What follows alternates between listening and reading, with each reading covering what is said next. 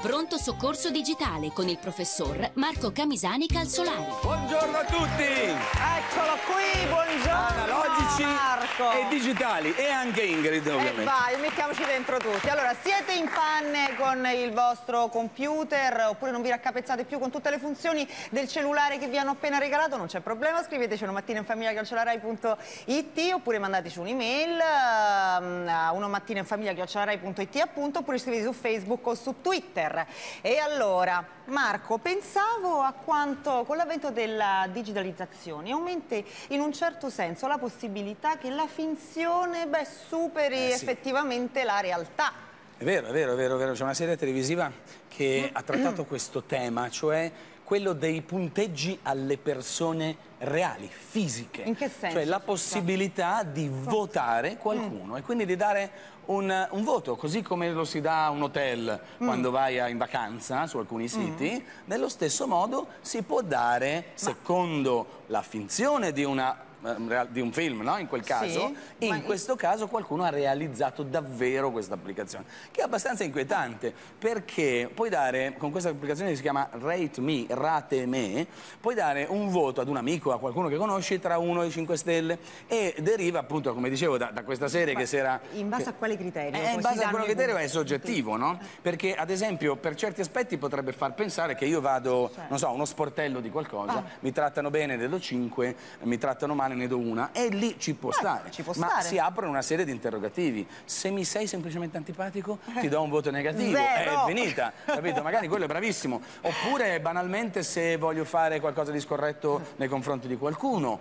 Oppure, quindi eh, davvero è abbastanza inquietante lo scenario che potrebbe, no? potrebbe, potrebbe scaturire da un'eventuale, credo improbabile, diffusione di applicazioni di questo tipo. Ecco, beh, va bene, passiamo adesso al nostro interessante sportello digitale. Allora sentiamo quale altra indicazione il nostro prof 2.0 ci darà oggi, insomma, che ci offre appunto il mondo digitale. Allora, oggi è possibile monitorare le proprie malattie, l'andamento delle analisi, le, le terapie da seguire anche da casa, grazie alla teleassistenza. In sostanza, eh, certo, perché chi versa magari in condizioni di necessità, eh, magari appunto ha necessità medica, aiuto, eccetera, eh, può andare sul sito della propria regione, l'esempio di tre regioni sono www.comune.milano, sono comuni anche, no? che ehm, in sostanza permettono di attivare la teleassistenza. Basta andare appunto sul sito, su- cliccare su cerca e poi scrivere teleassistenza. E in sostanza è una sorta di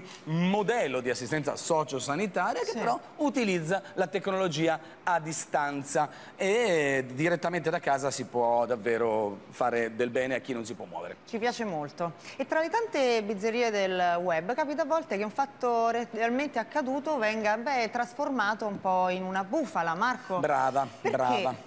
Si arriva vedi, tanto. Vedi, eh, c'è chi vuole divertirsi così, no? diffondere bufale. In questo caso si tratta di una bufala perché non ha fatto danni a nessuno. C'è Meno un video male. che ha circolato, quindi non è una truffa no? o una fake news, eccetera. C'è il video di questo cerbiatto, Capriolo, no? che mh, è in sostanza nel mare della Maremma, eh, a Cale di Forno, così hanno detto. guarda che carino. È bellissimo perché è proprio un giovane cerbiatto che si diverte con le onde. No? E quindi si diceva che il video è vero, ma che fosse stato girato in Maremma a, a Cala di Forno. In realtà questo video è stato girato nel 93 addirittura in Francia da un Ah, documentarista eh, no, che perché- si chiamava Anthony Martin che stava proprio girando un documentario su, su questo. No? Per cui Beh, eh, certo, curioso vedere un cerbiatto. è curioso, però non era tra le onde. Però, mare. però era vero, eh, quello non era una ricostruzione. Bisogna Quindi- sempre fare attenzione perché in questo caso non ha fatto male a nessuno, ma a volte può creare qualche problema. Anzi, spesso. E a proposito di video curiosi, quale altra chicca hai scovato in questa settimana, caro Marco? Ma guarda, carinissima questa cosa, no? Dove ci sono delle sedie attaccate al muro, sedie, tavolino, eccetera, In che che sembrano dei quadri, no? Eh. Adesso me li faccio vedere. Sembrano dei quadri e quindi tu li vedi e dici, oh che bella installazione artistica, vedete qui dietro. E in realtà poi a un certo punto lui arriva, lo prende e diventa in 3D. No, non ci quindi, credo. Guarda, eh, si- vedi, Cioè, lo prende dal muro. funzionale? Lo prende dal muro, esatto, e diventa, vedi, diventa vero. Quindi quadro No, vabbè, ma che funziona, che serve davvero. E sono disegnate da questo artista, da questa artista coreana che si chiama Yonga Choi, chissà come l'ho pronunciata. Però, comunque è davvero geniale. Sì, le case piccole, per Sì, non ha nelle case spazio, piccole dici, ho appeso la al sedia al muro, muro. nelle sedie, tavoli, Esatto, quant'altro. appendi le cose al muro, esatto. Esatto. Che una volta voleva dire, No, non è male. eh. lascio perdere. Esatto, una volta cappello diceva il cappello No, al chiodo. Al chiodo quello lì era... Vabbè, cosa, un'altra cosa. Non ci avventuriamo.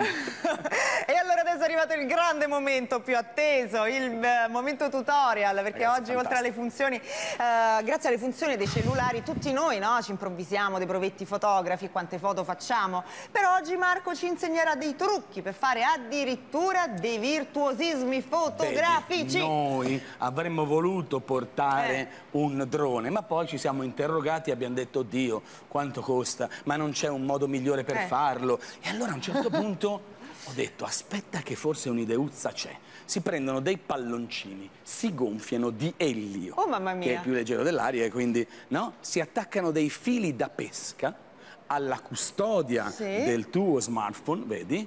E poi lo metti in posizione selfie Cioè una roba proprio facile sì, facile. compra uno di questi, ma si trovano davvero ovunque. Sono quelli gli stessi dei selfie stick, costano 3 euro questi telecomandini Bluetooth che colleghi a lui. Quindi facciamo la prova del Eh, palloncino noi adesso, adesso. proviamo, vai, la, pro- la prova del palloncino no, noi non beviamo, per cui è tutta acqua, ci trovano l'acqua Siamo così gassata. naturalmente Ecco noi. qua, esatto. Vai, e quindi scatto, eh. Oh, un Vai. po' di foto, vai. No, vabbè, Hai stiamo facendo il, drone foto. casalingo Ma ti prego. e soprattutto economico. No, vabbè, ma solo tu. Eh, vedi, al posto Solo di tu. spendere pausa, soldoni, ciao. perché i droni costano un mucchio, eh? 400 euro, invece con questo un palloncino e via. guarda. Guarda qua, che belli. Eh? Uh, Beh, possiamo continuare fino a domani, ma forse No, è il caso restitui. di andare avanti. Vabbè, lo possiamo pure Sì, lasciare, esatto. tanto il cellulare di chi è? Ah, giusto, è tuo. È tuo? No, il mio, mio, no. mio, mio, è mio. E allora andiamo avanti, bravo Marco, ci stupisci sempre. Eh, vabbè, ci divertiamo un po'. E leggiamo la mail di Valeria che scrive Conosciamo bene gli altri costi degli accessori originali, no? l'alto costo dei telefoni, dei PC, dei tablet, eccetera, però non di rado viene la tentazione di acquistarli non autentici. Ce lo consiglia oppure rischiamo in qualche modo di danneggiare i nostri prodotti? Dipende, il Eh, vero problema... risparmiamo più- da una parte, però Sì. poi dall'altra... Danneggiare non so, ma molto spesso il vero problema è che non funzionano, perché la batteria non carica bene, si rompe subito, prende fuoco, eh, non, eh, non- non- proprio banalmente non fa caricare lo smartphone se è una batteria o la custodia che non si Mm. chiude bene. Alcuni però di questi accessori sono certificati, quindi non sono gli originali. Cioè, certificati come non dal autentici? brand, dalla marca Ah. di- che dovrebbe invece, che vende anche i propri e quindi certifica non tanto i non autentici, eh, certifica le- i- gli accessori costruiti da terzi che però sono ufficialmente funzionanti Ah, ecco. per il vostro corpo. Quindi Quindi, possiamo risparmiare in un certo senso? certamente, Ah. però il danno non mi viene in mente in questo momento, ma di solito il vero problema è che funzionano male o non funzionano, a volte per qualche euro in meno si buttano via i soldi. Ecco. E adesso beh, andiamo avanti perché quante volte no, la nostra memoria fa un po' le bizze. Per esempio, guardiamo un film e non ci ricordiamo il nome di quell'attore. Almeno a me capita spesso, non so a voi. E allora adesso beh, il nostro prof 2.0 ci consiglierà un modo per risolvere anche questo piccolo problema, che in realtà non è tanto piccolo, perché poi quanto ci innervosiamo. No, beh, però è fantastico. La Che non tecnologia... riusciamo a, a- a ricordare il nome de- de- dell'attore che stiamo vedendo in quel momento. No, bravissima, bravissima. La tecnologia infatti fa delle cose straordinarie, ma è per quello che, che ho questa passione, no? perché ti permette veramente di cambiare il modo in cui vedi il mondo, il modo in cui riesci a fare delle cose. Pensa ad esempio a quell'applicazione che è abbastanza nota, che si chiama Shazam e che Sì. permette di ascoltare della musica e sentire, capire di chi è. Hanno Sì, fatto la stessa cosa nome per gli attori. In sostanza questa applicazione serve per inquadrare lo schermo. Ma si può dire che è una figata pazzesca. È una cosa pazzesca. Praticamente inquadri lo schermo e dici ma chi era questo attore qua? Lui capisce no, di cosa si tratta e, e- di conseguenza ti dice il nome perché riesce a riconoscere Vogliamo vedere però come, come funziona? Facciamo una prova? Sì, è che il telefono mi è rimasto attaccato al No, palloncino. vabbè, ma qui non a caso guarda chi c'è. Avrei voluto... eh, guarda, quello, quello lo lì viene fuori, Marco aspetta, eh, Camisani smontiamo. Calzolari, vedi? Ma infatti... Tieni con i palloncini, vai Marco. Allora, andiamo a inquadrare, vediamo chi viene. Il Sono io. No, no, oh madonna, no, no, no, non sono no, è che ha un problema quel ragazzo. Ma ti somiglia? È vero ogni tanto un po'. Quando va in giro lo fermano e gli Eh. dicono "Sei Marco Camisani Calzolari?" Lui no. È il nostro no, Brad. Pitt. No, sono... Ok, e quindi, e quindi, e quindi, e quindi, e quindi andiamo alla grande. Bello, bello, bello. Ti piace quindi questa cosa Sì, dell'applicazione così? sì. Bella, eh? E quindi? E quindi niente, quindi... È andato? E quindi è andato il cellulare, è partito. Va bene, grazie. Allora, è arrivato il Grazie, momento Ca- dei saluti, ci vediamo sabato prossimo. Grazie a Marco Camisani Calzolari che potete ritrovare se volete fargli delle domande, curiosità e quant'altro, trovarlo su Facebook. Marco Camisani Calzolari, l'originale. Grazie.